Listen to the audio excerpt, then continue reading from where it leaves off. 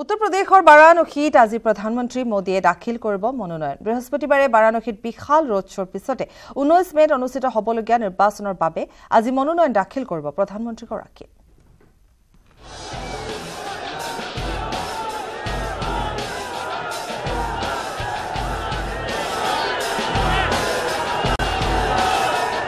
আজি মনোনয়ন দাখিল কৰিব প্ৰধানমন্ত্ৰী মোদীয়ে।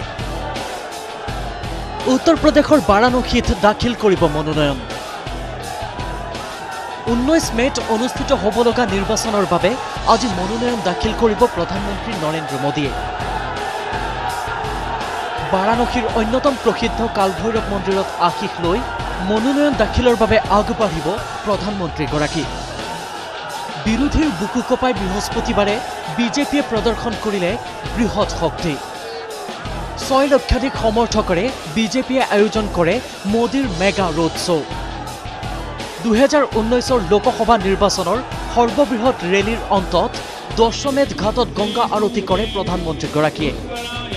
গংগা ঘাটত গাখীৰ ঢালি মন্ত্ৰোচ্চাৰণ কৰি আশীষ লয় মা গংগাৰ।